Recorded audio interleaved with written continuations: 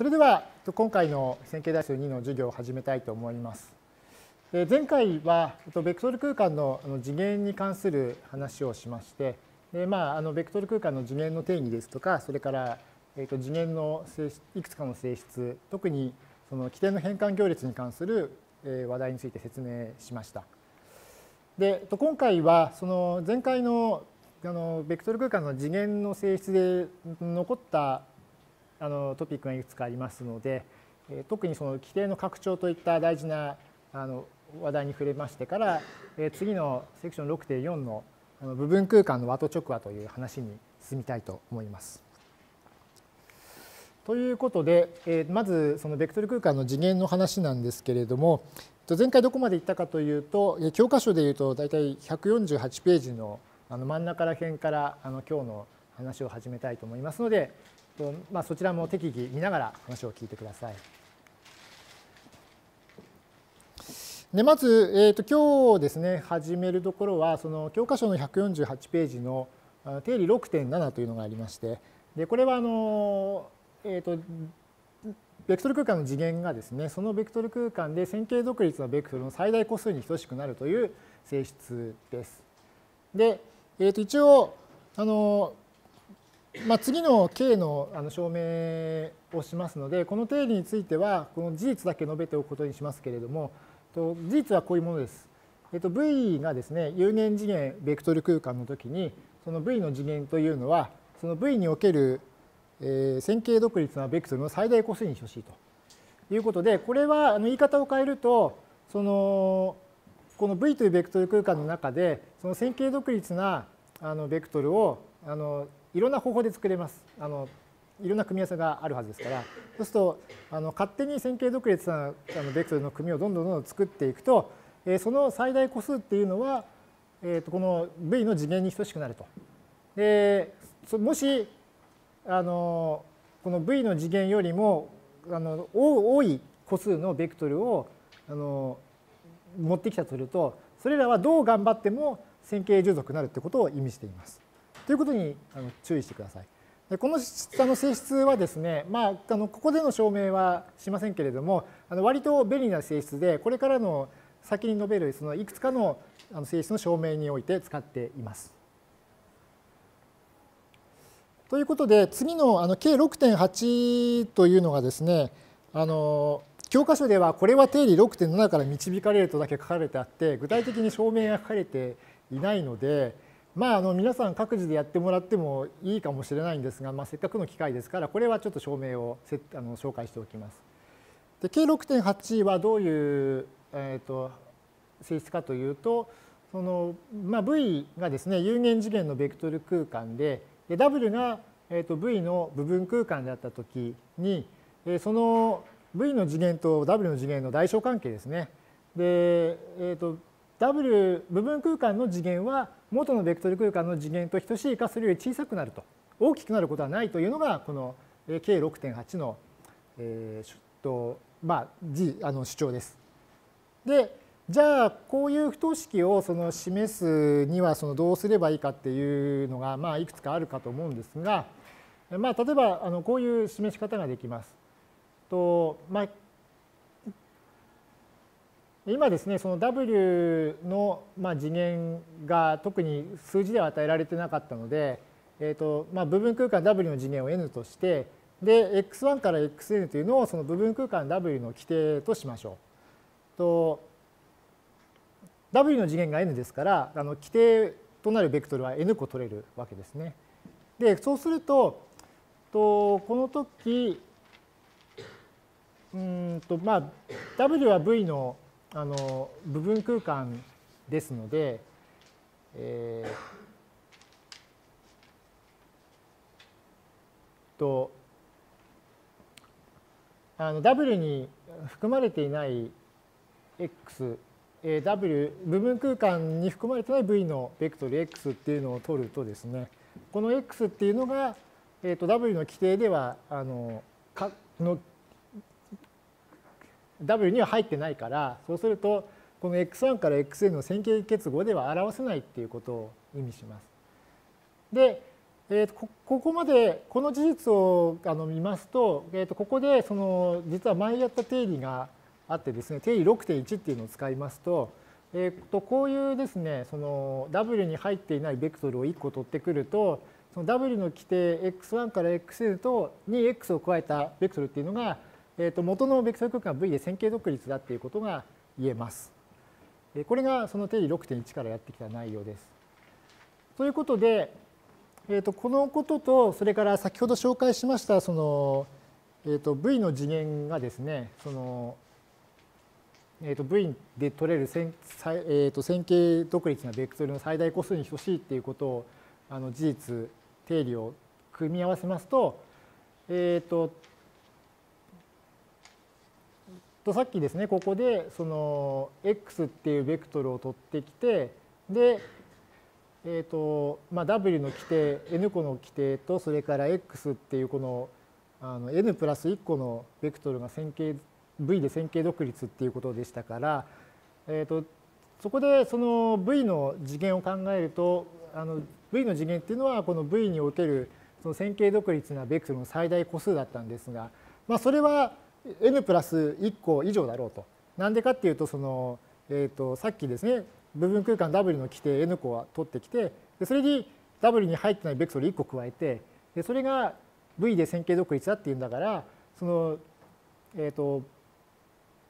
その V における線形独立なベクトルっていうのは N プラス1個は取れると。もしかしたらもっといっぱい取れるかもしれないけど少なくとも N プラス1個は取れるということなんで、えー、と V の次元は N プラス1かそれより大きいはずだということが言えるわけですね。で、えー、このあの数っていうのは実はそのえーと、この W 部分空間 W の次元以上になっているので、まあ、こういう不等式が成り立つというのがこの証明です。あとあの一つあの言い忘れていたんですが、えー、とこの W に入ってない x が取れる時っていうのはその W が元のですね V と等しくない時えー、っとだったので、まあ、あのこの W が V の部分空間っていうのは実は W と V が等しい時もあのそういうことを言います。だから W が V に等しい時も W は V の部分空間っていうのでその場合にはこの次元に関しては統合が成り立つということに注意してください。よろしいでしょうか。はい。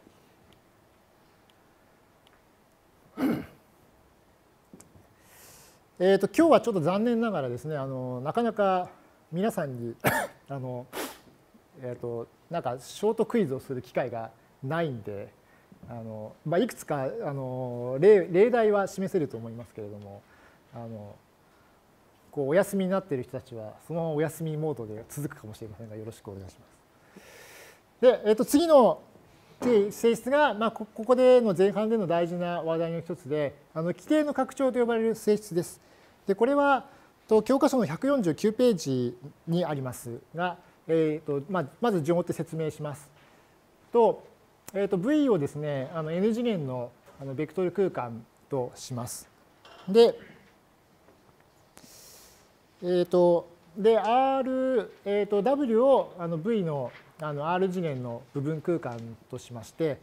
えーと、あそうかここちょっと一つあの記述直してほしいんですけれどもこの R が N より小さいとなってますけれどもこれすいません統合が抜けていたんで統合も入れてください。R は N 以下とします。だから R が N に等しい場合も含みます。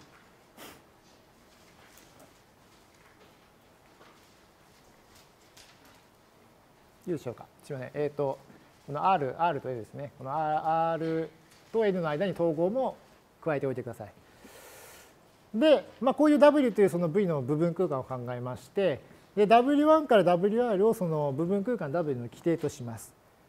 で、えー、と定理の主張はですねあのこの時ある、えー、と n-r 個のベクトルがその元のベクトル空間 V に存在して、えー、この先ほど出てきたその W の規定その W1 から WR にこの x1 から x の n-r っていうベクトルを足すとあのちょうどその V の規定になるようなそういうベクトルを足すことができると加えることができると言ってるのがこのあの規定の拡張と呼ばれるあの性質です。で、まあ、一応これも割と大事なあの性質ですので、まあ、ちょっと証明はあの面倒かもしれませんけれども一応紹介したいと思います。で、えー、とまずと、まあ、先ほどの K6.8 でもちょっと出ましたけれどもあの部分空間にはその自分自身も含まれるという場合があるので注意しておきます。でもし、えー、と R が N だった場合 R が N に等しい場合ですね部分空間の次元がその元のベクトル空間 V の次元に等しい場合というのは、えー、と実はその部分空間の規定として取ってきた W1 から WR っていうのはえっと、実は元のベクトル空間 V の規定にもなっているので、まあ、R というのが等しい場合はこれで証明終わりです。ですので以下の場合以下の証明ではその部分空間があの元のベクトル空間よりも真に小さい場合ですね真に含まれている場合をあの仮定して話を進めます。えーと、ここにありますようにこの元のベクトル空間 V が、まあ、この W と等しくないあ W, w え、部分空間 W と等しくない場合をあの仮定して進めます。でこのような仮定をしますと,、えー、とよくやるのはそのこの、まあ、V とそれから部分空間 W が等しくないから、えー、と部分空間 W に含まれていない V のベクトルが1個あるはずだっていうのを取ってくるのが、まあ、あの数学でいうよくやる証明のやり方です。でそういうあの部分空間 W に含まれてないベクトルを1個取ってきてこれを x1 と置きます。でそうしますと,、えー、と実はその W1 から WR と X1 っていうのは、えー、とまずこの V 元の別力空間 V で線形独立であるっていうことが言えます。でそして今度はその W1 から WR に先ほど取ってきた X1 を加えて生成されるあの部分ベクトル空間っていうのを作りましてでその部分ベクトル空間に含まれていないベクトルがまたあるはずなのでそれを1個取ってきましてこれを x と置きます。そうしますと,、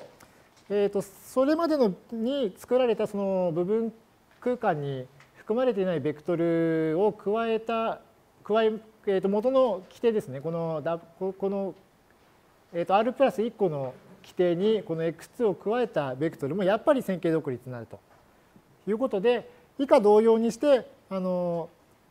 あの新しく取ってきたベクトルを加えて部分空間を作ってでそこに含まれてない V のベクトルをまた1個取ってきて新しくそれを加えたあの部分空間を作ってっていうことをしてあの規定の個数をあ規定のこう構成するベクトルの個数をどんどん増やしていくんですね。そうすると最終的にと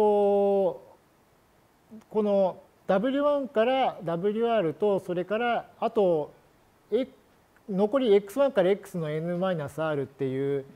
ベクトルを加えた合計、えー、と n 個のあの線形独立なベクトルの組を取ることができます。でこれなぜできるかというとその先ほど今日の初めにやりましたこの定理の6.7からその、えー、と今 v が v 元のベクトル空間 v は n 次元ですから、えー、n 次元っていうことはえーと、V の中では線形独立なベクトルを最大 n 個まで取れるということが保証されていますので、まあ、あのうまい取り方をするとこの W1 から WR に、えーとま、X1 から X の n-r っていうこの n マイナス r 個のベクトルを加えてこれら n 個のベクトルが線形独立になるように、えー、取ることができます。であと示すことはですねこの W1 から WR とあと X1 から X の n-r っていうこの n 個のあのベクトルがその元のベクトル空間 V の規定になるっていうことを言うんですけれども、えー、と規定の定義を思い出すと,、えー、と2つ条件があったことを思い出してください。えー、と規定の定義は1つは、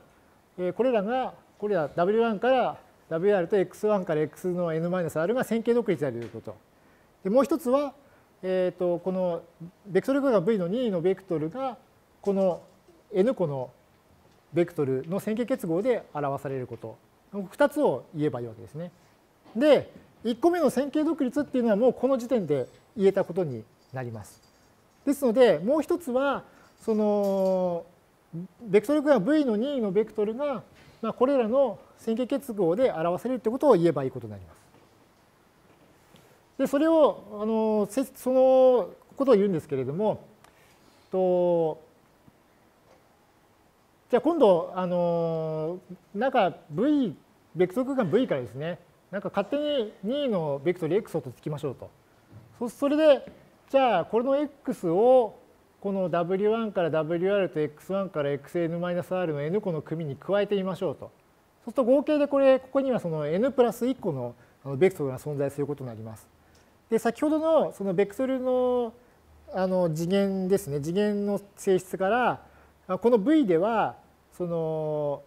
線形独立なベクトルのとして取れる最大の個数っていうのは n 個までって決まってますからこの組み合わせあここの組み合わせに x っていうまた別なベクトルを加えるとそれらはあの線形従属になってしまうわけですね。n プラス1個の持ってきたから。そこで、えー、と n プラス1個のあ待って、えー、とここの w1 からですねこの x の n-r がまでが線形独立でで x を1個加えると線形従属になるってことは、えー、実はこれあの先ほども定理6.1使ったんですけどここでも使うとですね実はこの x っていうのはその残りのあの n 個の線形独立なベクトルの線形結合でかけるという性質があります。でこれを使うと,、えー、と実はこの v から取ってきたあの勝手な2のベクトル x っていうのはあのこれら w1 から wr と x1 から xn-r の線形結合でかけますということが言えるのでこれはあの v の規定のもう一つの条件を満たすことになるわけですね。ということでえこれでそのえっとこの W のベクトル空間部分空間 W の規定にそれから n-r のまあうまいベクトルを加えて、えー、と元のベクトル空間 V の規定が作れますというのがこれの証明となります。まああのちょっとそうですねあの、まあ、いきなり R とか N とか出てくると分かりにくいかもしれませんのでちょっと一つこの例を出してみたんですけれども、えー、と今 V をですねその実数のあの3次元のベクトル空間としてで W をその部分空間としたんですけれども、えー、とその W の部分空間というのはこういう形で取りました。とあの規定の一つ W1 は110とそれから W2 は1マイナス1マイナス1ということで、えー、とこの W1 と W2 でその貼られる部分空間っていうのはこの図の中ではこのピンク色のこの平面になるわけですね。まずこういう部分空間を取ると。で、えー、とこれにその何かあるベクトルを加えてそのちょうどこの R3 の規定になるようにしたいっていうのはどうすればいいですかっていうことになると,、えー、と今そのこの部分空間の次元は2次元ですからえこのあの W に含まれていないベクトルっていうのは少なくとも1個あるはずででそれを1個取ってきましょうと。でどういうふうに取ればいいかっていうと,、えー、とここにありますようにここは今回はその111っていうあのベクトルを取りましたけれども、まあ、直感的にこのあのピンクの平面上に載ってないベクトル1個取るわけですね。そうするとあのこの W1 と W2 とにそれから X1 を加えたあの3つのベクトルっていうのがちょうどこの R3 のあの規定になるということがわかると思います。まあ、これは直感的にこう見てあのそう思ってくださいって感じですけれども、まあ、こうこういう事実が成り立ちますので、まあ、一応あの先ほどの定理はこういうことをもっと一般的なあの、まあ、N 次元とかそれから R 次元とかっていうのでやっていると思ってください。